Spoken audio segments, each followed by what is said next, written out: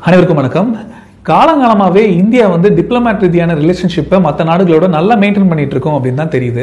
இப்போ நம்ம என்ன பார்க்க போகிறோம் அப்படின்னா கிட்டத்தட்ட இன்னைக்கு நடக்கிற விஷயங்கள் இன்னைக்கு இந்தியாவோட இருக்கிற டிப்ளமேட் ரீதியான ரிலேஷன்ஷிப் ரஷ்யாவோட இருக்கட்டும் அப்புறம் அமெரிக்காவோட இருக்கட்டும் இன்னைக்கு சீனாவோட இருக்கட்டும் இந்த மாதிரியான விஷயங்கள்லாம் ஐம்பத்தாறு வருஷத்துக்கு முன்னாடியே அமெரிக்க தூதர் அதாவது இந்தியாவுக்கான அமெரிக்க தூதர் வந்து இதெல்லாம் ப்ரிடிக்ட் பண்ணியிருக்காரு அப்படின்னு சொல்லப்படுது.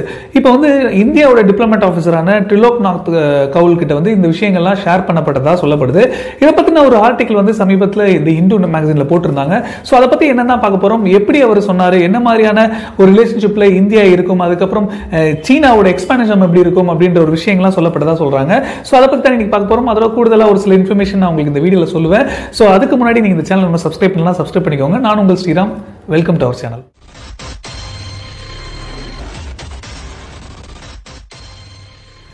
nineteen sixty டூவில் வந்து இந்தியாவுக்கும் சீனாவுக்கும் வார் நடக்கும்போது இந்தியா கிட்ட ஏர்ஃபோர்ஸே அப்போ இல்லை அப்படின்ற செய்திகளை நம்ம ஏற்கனவே ஒரு சில வீடியோவில் பார்த்தோம். அப்போ வந்து இந்தியா வந்து அமெரிக்கா கிட்ட வந்து உதவி நாடுச்சு. அதாவது ஒரு சில ஹைடெக் வெப்பன்ஸ் வேணும் அதுக்கப்புறம் ஏர்ஃபோர்ஸ் யூஸ் பண்ணிக்கணும் அப்படின்ற ஒரு விஷயங்கள் மேற்கொள்ளும் போது அமெரிக்கா வந்து அதை ரிஃப்யூஸ் பண்ணிட்டாங்க அப்படின்னு சொல்லப்பட்டது. அதுக்கான காரணங்கள் வந்து அதுக்கப்புறம் அவங்க சொன்னாங்க இந்த மாதிரி அதை பயன்படுத்த தெரியாது உங்களுக்கு அப்படி இப்படின்ற ஒரு விஷயங்கள் சொன்னாங்க. ஆனால் உண்மையான காரணம் என்னன்னு பார்த்தீங்கன்னா அப்போ அமெரிக்கா வந்து ஒரு குழப்பமான ஒரு சூழ்நிலையில் இருந்தது.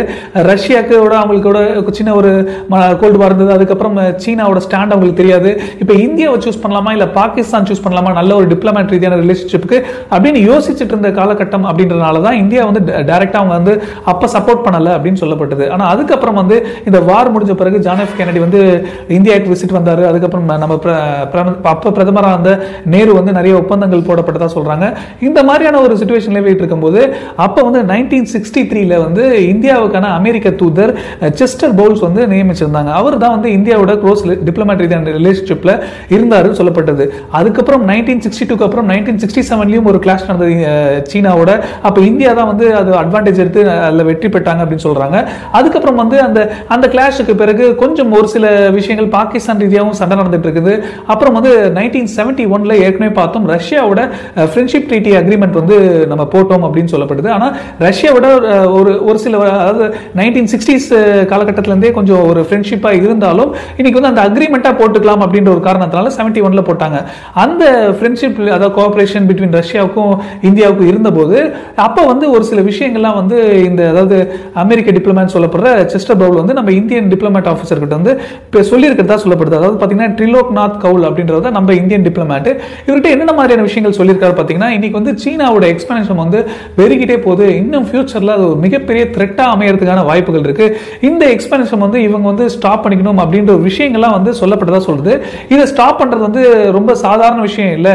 இன்றைக்கி வந்து உலக நாடுகளில் ஒரு சில நாடுகள்லாம் வந்து அவங்களுக்கு எதிரான ஒரு ஸ்டாண்ட் எடுத்தால் தான் இந்த சீனாவோட எக்ஸ்பான்ஷன் வந்து ஸ்டாப் பண்ண முடியும் அப்படின்ற ஒரு விஷயங்கள்லாம் சொல்கிறாரு அதுக்கப்புறம் என்ன சொல்லிருக்காருன்னா எனக்கு தெரிஞ்சு ஃப்யூச்சரில் இந்தியா வந்து ஒரு கீ ரோல் ப்ளே பண்ணுவாங்க. இப்போ வந்து ரஷ்யாவுக்கும் சீனாவுக்குமே அப்போ வந்து ஒரு கசப்பான ஒரு சுச்சுவேஷன்லாம் நடந்துட்டு இருந்திருக்கு. ப்ராடர் டிஸ்பியூட்லாம் அவங்களுக்கும் நடந்திருக்கு. ரஷ்யாவும் சீனாவும் இப்போ இருக்க ஒரு நல்ல ஒரு க்ளோஸ் ரிலேஷன்ஷிப்லாம் அப்போ இல்லை அப்படின்றது தெரியும். அப்ப- அந்த காலகட்டத்தில் இருக்கும்போது அந்த ஹீட் அப் ரிலேஷன்ஷிப் இருக்கும்போது நைன்டீன் நைன்டி ஒன் வரைக்குமே ஒரு ஹீட் அப் ரிலேஷன்ஷிப் தான் ரஷ்யாவுக்கும் சீனாவுக்குமே இருந்தது. அதுக்கப்புறம் வந்து இப்போ ரஷ்யா வந்து ஒரு டயத்தில் வந்து அவங்க ஒரு ஸ்டாண்ட் எடுக்க வேண்டியது அது குறிப்பாக குறிப்பா சீனாக்கும் அமெரிக்காவுக்கும் ஏற்பட்ட கோல்டு வார் சீனாக்கும் அதாவது வர்த்தக ரீதியான ஒரு பிரச்சனைகள் ஏற்பட்டனால வேற வழி இல்லாம சீனாவை சூஸ் பண்ண வேண்டிய நிலைமைக்கு ரஷ்யா வந்துருச்சு அப்படின்னு சொல்லப்படுது அதனால தான் ரெண்டு பேருமே ஈக்குவலா பொருளாதார ரீதியா நிறைய விஷயங்கள் நிறைய டைப் நல்ல ஒரு க்ளோஸ் ரிலேஷன்ஷிப் உருவானதுக்கான காரணம் அப்படின்னு சொல்லப்படுது அதுக்கப்புறம் இந்தியாவை எப்படி அவர் பார்த்துருக்காருன்னா இந்தியா வந்து ஒரு நியூட்ரலான ஒரு கண்ட்ரியாக பார்த்துருக்காரு. அதனால ரஷ்யாவுக்கும் இந்தியாவுக்கும் ஒரு நல்ல ஒரு ரிலேஷன்ஷிப் இன்னும் கண்டினியூ ஆகும் அப்படின்ற ஒரு காரணத்தினால இந்தியாவோட அதாவது அவங்க சூஸ் பண்ண வேண்டிய குழப்பமான சுச்சுவேஷன்லாம் தாண்டி இந்தியா மேலே அமெரிக்காவுக்கு ஒரு விதமான ஒரு க்ளோஸ் ரிலேஷன்ஷிப் வர வேண்டிய வாய்ப்புகள் சந்தர்ப்பங்கள் அமைய ஆரம்பிச்சிருச்சு.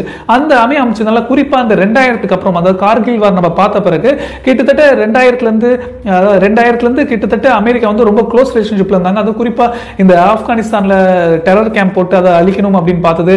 அப்புறம் பாகிஸ்தான்ல வந்து இந்த ஒசாமா பின் லேடன் அதை அழிக்கணும் பார்த்தது. காலகட்டத்திலலாம் வந்து இந்தியாவோட மிகப்பெரிய ஒரு உதவி வந்து தேவைப்பட்டது யூஎஸ்க்கு அப்படின்னு பார்க்கணும். அதுக்கப்புறம் இப்போ இன்னமுமே இந்த காலகட்டம் வரைக்குமே யூஎஸ் எந்த அளவுக்கு க்ளோஸாக இருக்காங்க அப்படி தெரியும். இப்போ வந்து நல்ல ஒரு க்ளோஸ் ரிலேஷன் வளர்ந்தாலும் அதே ஒரு நிலைமையில தான் வந்து அதாவது ரஷ்யா வந்து இந்தியா பின்தங்க வைக்கல அப்படின்னு பார்க்கப்படுது. இந்தியாவோடையும் எந்த அளவுக்கு யூஎஸோட நல்ல க்ளோஸ் ரிலேஷன்ஷிப் இருக்காங்களோ ரஷ்யாவோடையும் அதே ஒரு டச்சில் தான் இருந்திருக்காங்க. அதனால இன்னைக்கு வந்து என்ன சொல்றாங்கன்னா அன்னைக்கு அவர் சொன்ன மாதிரி இந்தியா வந்து ரெண்டு பேருக்குமே வந்து ஒரு நல்ல நட்பு நாடா அமையும். அமையும் போது கண்டிப்பா இந்தியா வந்து அமெரிக்காக்கும் ரஷ்யாவுக்கும் ஒரு மீடியன் அதாவது மத்தியஸ்தனம் பண்ணி தரதுக்கான வாய்ப்புகள் இருக்கு அப்படின்ற ஒரு விஷயத்தை அவர் கணிச்சதா சொல்றாங்க. அந்த கணிப்புகள்லாம் இப்ப கொஞ்சம் உண்மையாயிட்டு வருதோ அப்படின்ற ஒரு எண்ணம் தோணுது அப்படின்னு சொல்லலாம். ஏன்னா இன்னைக்கு நமக்கு எல்லாருக்குமே தெரியுது இன்னைக்கு வந்து அவங்களோட எக்ஸ்பென்ஷன் சீனாவோட எக்ஸ்பென்ஷன் எந்த அளவுக்கு பெருகி இருக்கு அப்படின்னு. குட்டி நாடுகளும் விடல பெரிய நாடுகளும் விடல. இப்போ வந்து இது இந்த போர்ட் சிட்டி சொல்லப்படுற ரஷ்யாவோட போர்ட் சிட்டி சொல்லப்படுற ஒரு சிட்டியும் இப்போ அந்த ஆபரும் எங்களோடது தான் அப்படின்னு சொல்ல சொல்றாங்க. சீனா அது வந்து ஒரு பெரிய கிளாஷா பார்க்காம அதாவது இந்திய ஊடகங்கள் பெரிய விஷயமா சொன்னாங்க அப்படின்னு ஏசியாவில் இருக்க ஒரு சில ஊடகங்கள் சொல்றாங்க. ஆனால் சீனா அதை வந்து பெருசாக எடுத்துக்கல. ரஷ்யா வந்து அது கமெண்ட்டும் பாஸ் பண்ணல அப்படின்னு சொல்கிறாங்க ஆனால் இந்த லடாக் பகுதியில் நடக்கிற பிரச்சனையப்ப அவங்க அஃபிஷியல் ட்விட்டர் அக்கௌண்ட் வந்து அதாவது ரஷ்யாவோட அஃபிஷியல் ட்விட்டர் அக்கௌண்ட் வந்து government official embassy Twitter account வந்து இந்த மாதிரி போட்டிருந்தாங்க. ஒன் சிக்ஸ்டி இயர்ஸ் வந்து மே மாதம் நாங்கள் வந்து செலிப்ரேட் பண்ணுறோம் இந்த இந்த சிட்டி போர்ட் சிட்டியோட இது. ஆக்சுவலாக பார்த்தீங்கன்னா அது வந்து சீனா வந்து அட்மினிஸ்ட்ரேட் பண்ணி பண்ணிட்டு இருந்தது எயிட்டீன் சிக்ஸ்டிஸ் பிஃபோரா அதுக்கப்புறம் தான் வந்து இந்த இது வந்து ரஷ்யாவோட கண்ட்ரோலுக்கு போச்சு அப்படின்னு சொல்லப்படுது. அதனால இன்னைக்கு என்ன பண்ணியிருக்காங்க? அங்கே ரஷ்ய எம்பசியும் என்ன பண்ணியிருக்காங்க? விபோன்னு சொல்ற சீனாவில் இருக்க ஆப்லயும் வந்து அதை போட்டிருந்தாங்க. அதாவது சீனாவில் இருக்க ஆப்லயும் இந்த மாதிரி ஒன் சிக்ஸ்டி இயர் செலிப்ரேஷன் அப்படின்னு சொல்லி போட்டிருந்தாங்க இந்த போர்ட் சிட்டியை அதுக்கு சீனாவோட அஃபிஷியல்ஸ் வந்து ரிப்ளை பண்ணியிருக்காரு. இது நாட் ஃபேர் அப்படின்னு சொல்லி ஒரு விஷயத்தை ரிப்ளை பண்ணிருக்காரு இது எங்களுக்கு அது சீனா தான் அதுக்கு சொந்தம் அப்படின்ற மாதிரி ஒரு ஸ்டேட்மெண்ட் வந்து ரிப்ளை பண்ணிருக்காரு சொல்லப்படுது இதனால தான் வந்து ஒரு கசப்பான ரிலேஷன்ஷிப் ஆரம்பிச்சது. ரஷ்யாவுக்கும் சீனாக்கும் ஆரம்பிக்க ஆரம்பிச்சிச்சு அப்படின்ற ஒரு காரணத்தினால நம்ம இந்திய ஊடகங்கள் நிறைய விஷயங்கள் ரியாக்ட் பண்ணாங்க. ஆனால் இன்னொரு விஷயம் என்ன சொல்றாங்கன்னா இன்னைக்கு வந்து சீனாவும் ரஷ்யாவும் எந்த அளவுக்கு க்ளோஸா வர்த்தக க்ளோஸா இருந்தாலும் இன்னைக்கு இந்த பிரச்சனை நடக்குதுன்னு தெரியும். இந்தியாவுக்கும் சீனாவுக்கும் உள்ள பிரச்சனை நடக்குதுன்னு தெரியும். ஆனா இந்த லடாக் பகுதியில் நடக்கிற பிரச்சனைக்கு கிட்டத்தட்ட ரஷ்யா வந்து ஒரு மிகப்பெரிய அளவில் வாயை திறக்கவே இல்லை.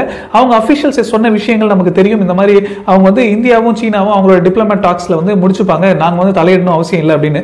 ஆனா இந்தியாவும் எமர்ஜென்சி ப்ரொக்யூர்மெண்ட் அனௌன்ஸ் பண்ணாங்க. எவ்வளோ டீல் எவ்வளோ வெப்பன்ஸ் வாங்கினாலும் வாங்கிக்கலாம் அப்படின்ற ஒரு சுச்சுவேஷனால அது வந்து ரஷ்யா கூட தான் வாங்குறாங்க. ரஷ்யா கூட டிஃபென்ஸ் மினிஸ்டரும் பேச்சுவார்த்தை நடத்தி இந்த விஷயங்கள்லாம் பண்ணியிருக்கிறதா சொல்கிறாங்க அப்போ இவ்வளோ விஷயங்கள் வந்து ரஷ்யா கிட்டேருந்து வாங்கும்போது அது எதுக்குமே அவங்க வந்து தடங்களோ ஒரு முட்டுக்கட்டையோ போடலை. ரஷ்யா வந்து எல்லாத்தையுமே அக்செப்ட் பண்ணிட்டு டெலிவரி பண்ண வேண்டிய இடத்துல டெலிவரி பண்ணுறோம் அப்படின்னு சொல்லிட்டாங்க.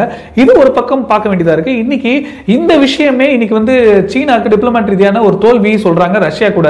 ஒரு ரிலேஷன்ஷிப்பில் ஒரு சின்ன விரிசல் இருக்கும் அப்படின்னு. ஏன்னா சீனா சீன டிப்ளமேட் ஆஃபீஸரே வந்து இந்த மாதிரி ஒரு சின்ன ஆர்டிக்கல் வந்து சீனாவோட குளோபல் டைம்ஸ் அதாவது அவங்க மவுத் பீஸோட குளோபல் டைம்ஸ் வந்து சொல்லியிருக்கதா சொல்கிறாங்க என்ன சொல்லியிருக்காங்கன்னா கிட்டத்தட்ட இந்தியாவுக்கும் சீனாவுக்கும் இந்த பிரச்சனை நடக்கும்போது ரஷ்யா டிஃபென்ஸ் அப்ளை பண்ணால் இது வந்து நல்லதா இருக்காது அப்படின்ற ஒரு காரணம் காட்டி. ஸோ இப்போ இந்த மாதிரி திடீர்னு இப்படி சொல்லும் போது அதுக்கும் அவங்க ரெஸ்பாண்ட் பண்ணவே இல்லை ரஷ்யா. அதுக்கப்புறம் அதே மாதிரி இந்த அலிகேஷன் இந்த போர்ட் சிட்டி சொல்ல போற இந்த வேல்டி ஓட்ஸோக்கு வந்து எந்த ஒரு விஷயமே வந்து வாயை திறக்கவே இல்லை ரஷ்யா. அப்ப பார்க்கும்போது அவங்க வந்து ஏதோ ஒரு ஸ்டாண்ட்ல இருக்காங்க. அவங்க வந்து இந்த சீனா இந்தியா பிரச்சனைக்கு இடையில நாங்க வர்றதுக்கு விரும்பல அப்படின்னு ஒதுங்கி இருக்காங்க அப்படின்னு நல்லா தெரியுது அப்படின்றதால நம்ம ஒரு சில வீடியோல நம்ம பார்த்துருக்கோம். இப்ப அவர் சொன்ன விஷயங்கள் என்ன நடந்திருக்குன்னு பார்த்தீங்கன்னா எக்ஸ்பனேஷன் நடந்திருக்கு கரெக்டாக அதே மாதிரி நடந்திருக்கு. அதே மாதிரி இந்தியாவுக்கும் சீனாக்கும் பிரச்சனை வந்து இதுக்கப்புறமும் நடக்கும். இதோட முடியாது. இந்த நைன்டீன் சிக்ஸ்டி செவன் நடந்த பிரச்சனையோ இல்லை சிக்ஸ்டி டூ நடந்த பிரச்சனை முடியாது. இது கண்டிப்பாக தொடர்ந்து நடக்க தான் நடக்கும் அப்படின்னு சொல்லிருக்காங்க. அதே மாதிரி அமெரிக்காவோட உறவு இந்தியாவோட வெரி ஸ்ட்ராங்காக இருக்கும் அப்படின்னு சொல்லிருக்காங்க. அதே மாதிரி செவன்டி ஒன் அக்ரிமெண்ட்டுக்கு பிறகு கண்டிப்பாக ரஷ்யாக்கும் இந்தியாவுக்கும் உள்ள உறவுல விரிசல் ஏற்படுறதுக்கான வாய்ப்பு இல்லை அப்படின்னு சொல்லிருக்காங்க. இதனால இந்தியா வந்து ஒரு முக்கியமான ஒரு பொசிஷனில் நிற்பாங்க அதாவது அமெரிக்காவுக்கும் ரஷ்யாவுக்கும் இடையே ஒரு மத்தியஸ்தனம் பண்ணி தரக்கூடிய ஒரு பவர் வந்து இந்தியாவுக்கு அப்போ இருக்கும் அப்படின்னு சொல்லியிருக்காரு. இன்னைக்கு இந்த சுச்சுவேஷனில் வச்சு பார்த்தோன்னா இன்னைக்கு சீனாக்கும் சீனா கூட ஏன் ரஷ்யா நெருக்கம் வந்தது காரணமே அமெரிக்கா சொல்லலாம் இன்னைக்கு உலக நாடுகளே அதாவது வில்லன் ஆஃப் வேர்ல்டு அப்படின்னு சொல்லலாம் சீனாவை. அப்படி இருக்கும்போது இன்னைக்கு ரஷ்யா வந்து நியூட்ரல் ஸ்டாண்ட் இருக்கிறதே வந்து அவங்க ஏதோ ஒரு விஷயத்தை யோசிச்சுட்டு இருக்காங்க இல்லை ஒரு குழப்பத்தில் இருக்காங்க அப்படின்னு சொல்லலாம். இந்த ஒரு நல்ல சந்தர்ப்பம் பயன்படுத்தி இன்னைக்கு இந்தியா வந்து அமெரிக்காவுக்கும் ரஷ்யாவுக்கும் உள்ள உறவுல வந்து ஒரு மத்தியஸ்தனம் பண்ணாலோ இல்லாட்டி ஏதாவது ஒரு டிப்ளமேட் ரீதியான ஒரு டாக்ஸுக்கு நடுவில் நின்று செஞ்சாலோ அது ஒரு மிகப்பெரிய விஷயமா அமையறதுக்கு வாய்ப்புகள் இருக்கு. ஸோ அதனால அவர் ப்ரிடிக்ஷன்லாம் இப்போ வந்து உண்மையாயிடுச்சோ அப்படின்ற ஒரு எண்ணம் தோணுது.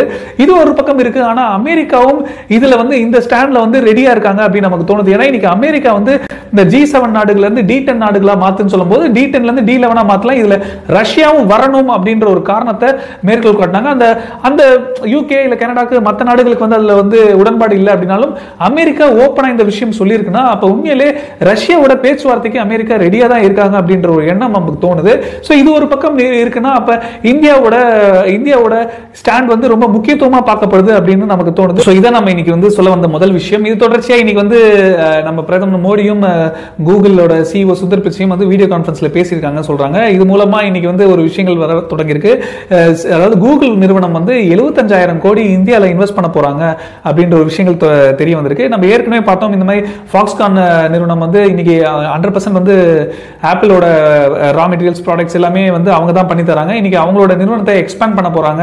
சென்னையில் அப்படி சொல்லிருக்காங்க. இதை வச்சு நம்ம வந்து ஆப்பிள் நிறுவனம் வந்து அவங்க சொன்ன மாதிரி முப்பது பர்சன்டேஜ் மேனுஃபேக்சரிங் பிளான்ட்டை வந்து சீனாலேருந்து கம்ப்ளீட்டாக இந்தியாவுக்கு ஷிஃப்ட் பண்ணுறாங்க அப்படின்ற ஒரு விஷயங்கள் உறுதி செய்யப்பட்டது. ஸோ இதெல்லாம் வச்சு பார்த்தா ஒரு சில வேலை வாய்ப்புகள் ஒரு சில விஷயங்கள் வந்து இந்தியா வந்து கொஞ்சம் ஒரு இம்ப்ரூவ்மெண்ட் காணும் அப்படின்ற ஒரு எண்ணம் நமக்கு தோணுது. ஸோ இதான் நான் இன்னைக்கு சொல்ல வந்த விஷயம். இது தொடர்ச்சியாக வேறு ஏதாவது இன்ஃபர்மேஷன் நீங்கள் சொல்லணும்னு ஆசைப்பட்டாலும் எந்த ஒரு தயக்கம் இல்லாமல் கீழே கமெண்ட் பண்ணுங்க. ஸோ கடைசி வரைக்கும் இந்த வீடியோ பார்த்த எல்லாருக்குமே நன்றி. B Indian by Indian